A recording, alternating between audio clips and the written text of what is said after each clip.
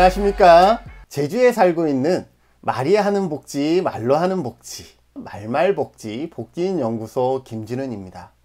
한 해가 지났는데요. 한 해가 지나자마자 제가 살고 있는 곳이 제주이거든요. 이 제주도에 밖에 하얀 눈이 펄펄 내리고 있어요. 내리, 아 이렇게 해야 되나요? 펄펄 내리고 있어요. 어, 제가 해안가 쪽에 살고 있는데 해안가도 이미 엄청 눈이 쌓여 있습니다. 제가 태어나서 이렇게 많은 눈을 본 것이 그런 많지는 않은 것 같아요. 어렸을 때 상당히 많은 눈이 내렸던 기억이 있는데 어, 커서는 이렇게 눈이 많이 내린 것이 오래간만인 것 같습니다. 그만큼 많은 눈이 내렸습니다. 그래서 이 하얀 눈이 우리가 작년 한 해 모든 분들이 힘들었잖아요. 코로나19로 인해서 전부 다 힘들었는데 그러한 어려움들을 깨끗하게 씻겨 내려가는 그래서 우리의 마음까지도 하얗게 이렇게 수놓는 그런 의미 있는 눈이 되기를 바라면서 2021년 한 해에도 여러분들이 저에게 보내주셨던 뜨거운 그런 어떤 성원에 힘입어서 2021년 한 해에도 여러분들이 원하고 여러분들이 궁금해하는 그러한 영역의 영상들을 촬영해서 올리도록 많이 많이 노력하도록 하겠습니다. 제가 작년 한해 어, 올린 영상만 200편이 넘더라고요. 제가 3월 말부터 영상 촬영을 시작을 했으니까 거의 하루에 한 편씩 평균으로 잡으면 하루에 한 편씩 영상을 올린 게 되는데 올린 영상들에 많은 분들이 어, 질문도 던져주셨고 또 감사하다는 댓글로 힘과 응원도 많이 불어 넣으셨어요. 그 댓글에 제가 더 큰 힘이 되었던 건 사실이고요. 그래서 그러한 어떤 댓글들의 어, 패턴을 분석을 해보면 제 채널을 구독해 주시는 분들 중에 두 가지 유형이 계세요. 첫 번째 유형은 사회복지 지원 제도를 받고 싶은데 자격 요건이 가능한지에 대한 그런 궁금증을 가진 분들과 또 제가 사회복지사 1급 특강을 어, 진행하다 보니 사회복지 1급에 대한 어떤 학습 욕구가 있어서 접근하시는 분 이렇게 두 가지의 어, 유형으로 나누어지는데 어, 첫 연, 영상은 그 원래 달라지는 사회복지 제도 중에서 부양 의무자 기준에 대해서 같이 살펴보고자 합니다. 2021년 부양 의무자 기준이 다소 바뀌는데요. 이 바뀐 내용을 여러분들이 이해하시면 어, 작년에 신청하지 못했던 영역에서 올해는 한 번쯤은 다시 신청을 해서 받을 수 있지 않을까라는 어, 기대를 해봅니다. 그래서 같이 화면을 통해서 원래 첫 영상을 살펴보도록 하겠습니다. 네, 2021년 부양 의무자 기준이 달라집니다. 폐지라고 설명이 되어 있긴 하지만 과연 폐지일까? 완화는 아닐까? 이러한 궁금도 어, 개인적으로 좀 가져봤고요. 네, 안녕하세요. 저는 사회복지사가 말하는 말로 하는 복지, 복지인 연구소 김진은입니다. 다시 한번 인사드릴게요. 반갑습니다. 네, 보건복지부 기초생활보장과 6511호를 찾아보면요.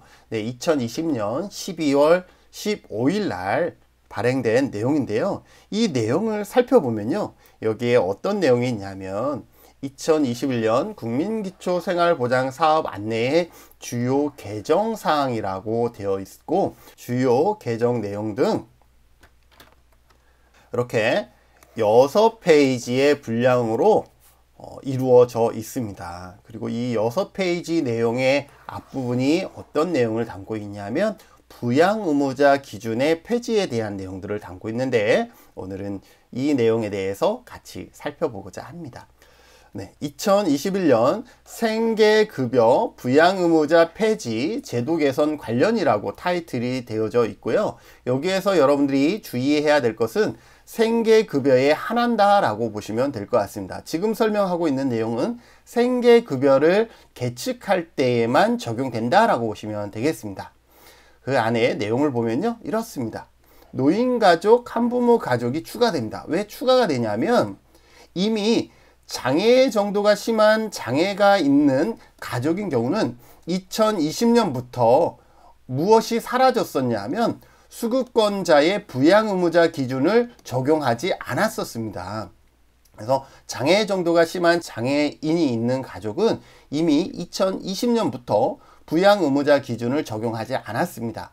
그런데 올해 2021년에는 노인 가족과 한부모 가족이 추가가 되었다라는 것은 부양 의무자 기준이 폐지가 되었다라는 겁니다. 그래서 부양 의무자 기준이 폐지가 되었다라고 설명을 하는데 여기에서 다시 우리가 주의해야 될 것은 그러면 어, 이 세 가지 조건 노인 가구 한부모 가족 장애 정도가 심한 장애가 있는 가족은 부양 의무자, 의무자 기준이 사라졌냐 라고 물어보면 그렇지 않다라는 거예요. 그래서 그 부양 의무자 기준을 적용하지 않으려면 두 가지의 기본 요건을 충족해야 됩니다. 첫 번째는 뭐냐 하면 수급자 가구의 요건과 두 번째는 부양 의무자의 부양 능력 요건을 충족했을 때 부양의 의무자 기준이 폐지가 된다라고 보시면 될 것 같습니다. 그래서 이 두 가지의 요건을 충족을 해야 되는데 첫 번째 요건이 뭐냐면 수급권자, 수급자 가구 요건입니다. 그래서 그 내용을 살펴보면 우리가 방금 설명했던 것처럼 세 가지의 가구의 가구 중 하나라야 된다라는 거죠. 첫 번째는 만 65세 이상 노인을 포함한 수급권자, 수급자 가구로서 노인이 아닌 가구원을 포함하는 해당 가구의 가구라야 된다라는 것이고 두 번째는 한부모 가족 지원법 사조에 따른 한부모 자격 채정 가구 중에서 부 또는 모가 30세 이상인 한부모 가구를 포함하는 해당 가구다. 이 조건을 충족해야 되는데 여러분들이 이러한 질문을 하시죠. 어, 교수님, 제가 알고 있는 분이 엄마와 자녀로 이루어진 한부모 가족인데 그러면 그분도 생계비를 신청할 때 부양 의무자 기준이 적용되지 않겠네요. 라고 물어본다 그러면 저는 예 또는 아니요 라고 단정 지을 수가 없어요. 여러분들 기억하세요. 여기에서 한부모 가족이라는 것은 외형적인 어, 부모와 자녀로 이루어진 가구를 얘기하는 것이 아니라 한부모 가족 지원법 제4조에 따른 한부모 자격으로 책정된 가구에 한한다라는 거예요. 그래서 부양 의무자 기준을 적용받지 않으려면 우선적으로 한부모 가족 지원법 제4조에 따른 한부모 자격을 취득을 하셔야만이 가능하다라는 것 기억해 두십시오. 다음 장애 정도가 심한 장애인을 포함하고 있는 수급자, 수급권자 가구, 가구로서 비장애인을 포함하는 해당 가구 이 세 가지의 요건을 갖추었을 때 수급권자, 수급자의 가구 요건이 충족된다라는 거죠. 근데 요것만 충족되면 안 되기 때문에 이것이 충족되어졌을 때 다음으로 뭘 본다? 부양 의무자의 부양 능력 요건을 살펴봐야 된다라고 보시면 되겠습니다. 그래서 부양 의무자의 부양 능력 요건을 살펴보면 소득과 재산, one, two, 이 두 가지 요건을 모두, 모두 충족해야 된다라는 것 여러분들 기억해 두십시오. 자, 그럼 소득 기준은 뭐냐? 재산 기준은 뭐냐? 일단, 어, 여기에 설명되는 것이 어려울 수 있기 때문에 한마디로 설명하겠습니다. 소득과 재산 기준은 이렇습니다. 한마디로 설명하면 소득 기준은 부양 의무자 가구의 연 소득이 1억 이하, 재산 기준이 9억 이하라야 됩니다. 뭐예요? 연소득 1억, 그리고 재산은 9억 원 이하라야 가능하다라는 거예요. 요거를 조금 어, 풀어서 설명하면 소득 기준은 부양 의무자 가구의 연소득이 1억 이하라야 됩니다. 이 1억을 우리가 1년이 12개월이니까 12개월로 나누면 실제 월 소득으로는 월 실제 소득으로는 834만 원 이하인 경우 소득 기준을 충족합니다. 예를 들어서 부양 의무자 가구의 월 소득이 900만 원이다 그러면 부양 의무자 기준을 어, 종전대로 적용하게 되는 거죠. 그런데 어, 부양 의무자 가구의 월 소득이 700만 원이다 그러면 어, 소득 기준을 충족하는 거예요. 이제 그 다음엔 재산 기준을 봐야 되는데 그 밑에 이러한 무슨 부연 설명이 있어서 이 부연 설명을 좀 보면 부양 능력 판정 소득액 선정 시 반영되는 차감 제외 항목 교육비 의료비 등을 미반영한 것이다 라고 설명이 되어지고 있습니다 이것은 여러분들이 굳이 어, 기억하지 않으셔도 될 것 같은데 월 소득만 여러분들이 중요하다라고 보시면 될 것 같아요.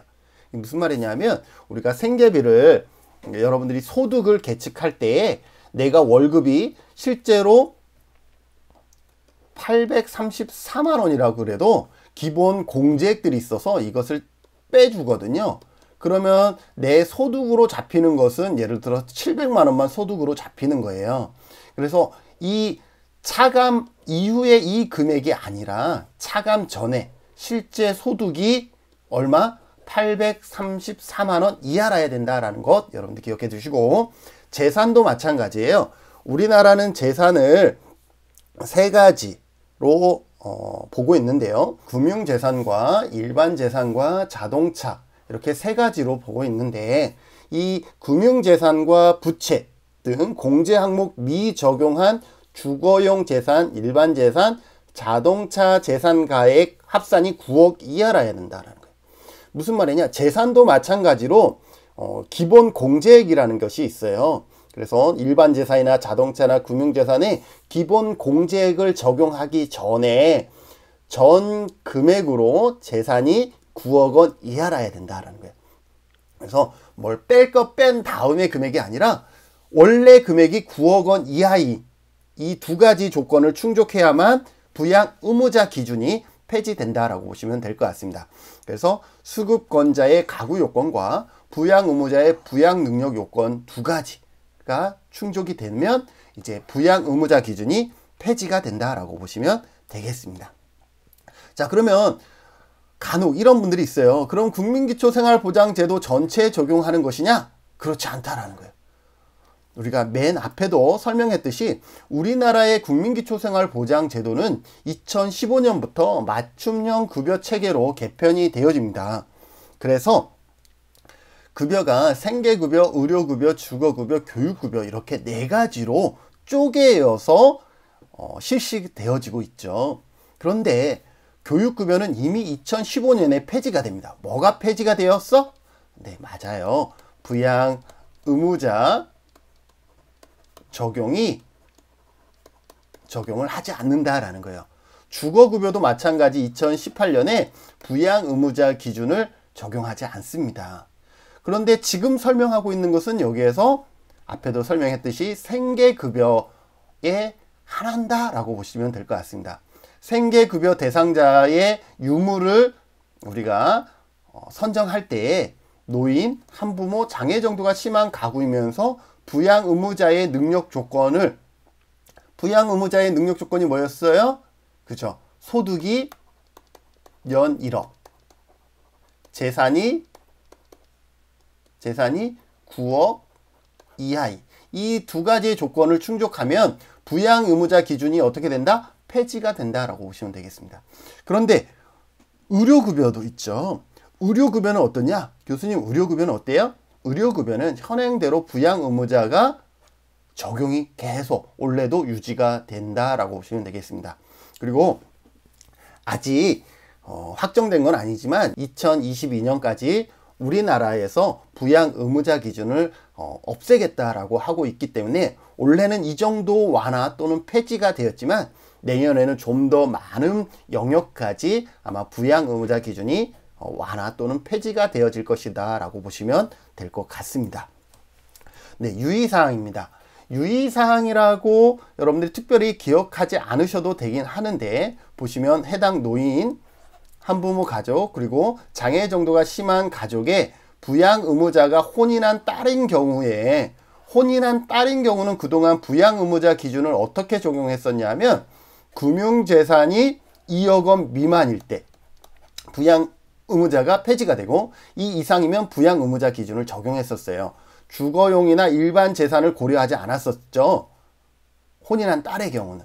그래서 여기에도 마찬가지 이것을 적용하지 않겠다라는 거예요. 이 조건을 갖추면 어차피 뭐가 안 돼요? 네, 부양 의무자를 볼 필요가 없기 때문에 이 혼인한 딸에 이것을 적용하지 않겠다라는 것이고 그리고 부양 의무자 기준을 적용하지 않으면 굳이 부양 의무자의 가구에 금융정보 제공 동의서나 소득신고서 이러한 것들을 우리가 살펴볼 필요가 없잖아요. 그래서 그동안은 부양 의무자의 1촌 이내의 관계에서는 금융정보 제공 동의서나 소득신고서 이러한 부분들을 전부 다 서류를 제출했었어야 됐어요. 그런데 이제는 어떻게 한다? 제출할 필요가 없다. 불필요하다라고 보시면 될 것 같습니다. 네. 오늘은 2021년 달라지는 부양 의무자 기준, 특히 생계급여 어, 계측에서 달라지는 부양 의무자 기준에 대해서 살펴봤는데 여러분들은 어때요? 조금 이해가 되셨나요? 그리고 여러분들 중에 어, 작년 한 해 그 부양 의무자 기준 때문에 어, 생계비 지원을 받지 못했다. 이러한 가구가 있다 그러면 원래 특히 노인 65세 이상 노인을 포함하고 있는 가구거나 아니면 한부모 가구거나 장애 정도가 심한 가구로서 어, 생계급여를 다시 한번 어, 신청해 볼 수 있었으면 좋을 것 같습니다. 그리고 다음 시간에는 2021년 역시 달라지는 국민기초생활보장제도에서 재산 기준에 대해서 살펴볼게요. 달라지는 중요한 내용 중에 하나가 뭐냐면 이 재산 기준 중에 가장 걸림돌이 되고 있는 것이 뭐냐면 자동차거든요. 그래서 여러분들이 국민기초생활수급자 신청하러 가면 담당 공무원이 가장 먼저 물어보는 게 자동차 있습니까? 라는 질문이었잖아요. 그런데 그만큼 자동차가 있냐 없냐가 생활보호 대상자가 되느냐 안 되느냐에 좀 더 결정적인 영향을 미쳤었는데 그 부분이 2021년 국민기초생활보장 제도의 어, 재산을 계측하는 방법에서 다소 완화가 되어졌습니다. 그래서 이 부분에 대해서 같이 다음 시간에 살펴보고자 합니다. 여러분들 밖에 날씨가 많이 춥습니다. 그리고 코로나19로 인해서 어, 나뿐만이 아니라 주변에 많은 분들이 같이 힘들고 어려워하고 있습니다. 여러분들이 그러한 어려운 분들에게 또 든든한 또 좋은 덕담 한마디 해줄 수 있는 마음의 여유까지는 놓치지 않았으면 좋을 것 같습니다. 이번 영상은 여기서 마치고요. 다음 시간에 뵙겠습니다. 수고하셨습니다. 바이바이.